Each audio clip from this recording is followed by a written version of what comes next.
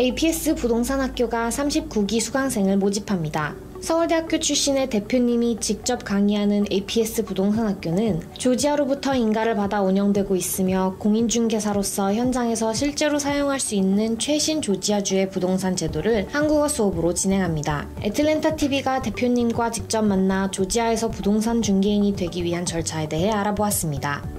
네, 안녕하세요. 오늘 강사님과 운영하시는 학교에 대해서 간단히 소개해 주세요. 네, 안녕하세요. 저는 어, Real Estate School of APS를 운영하면서 제가 직접 가르치기도 하는 KCE라고 합니다. 저희는 2013년 7월부터 아마 시작했을 거예요, 1기가. 현재는 39기 수강생들 모집하고 있고요. 미국에서 부동산 중개인이 되려면 어떤 과정을 거쳐야 하나요? approve된 강의를 75시간을 성공적으로 마쳐야 되고요. 학기 말 시험을 보는데 그 시험을 통과를 하셔야 돼요.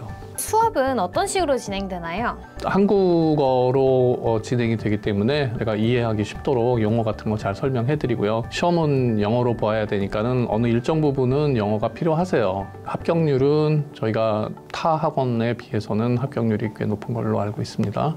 그러면 시험을 통과하면 바로 중개인으로 일을 하는 게 가능한가요? 주시험이 따로 있으세요. 157개 문제 중에 109개까지 맞추셔야 되고요. 고졸 이상의 학력이라든지 18세 이상 어, 나이 제한도 있긴 있고 조지아 주 면허를 따려면은 이제 Georgia residence 그 다음에 이제 criminal conviction record background 조사를 하세요. 해야 돼요. 과거에 범죄 사실이 있다든지 이러면은 conviction이 만족된 후에 2년 지나면은 라이센스를 줄 수 있다 이러는데 그리고 마지막으로 그 오전반, 오후반이 있었던 것 같은데 지금 둘 다 지금 저녁반을 모집하고 있거든요. 네. 오전 시간 중에 이제 들을 수 없으신 분들을 위한 강좌거든요. 직장인이라든지 주부님들 중에서도 그 저녁 시간이 자유로우신 분들에게 어, 열려진 강의니까 많이 어, 들어오셔서 어, 수강하시면 좋겠습니다. 감사합니다. 감사합니다.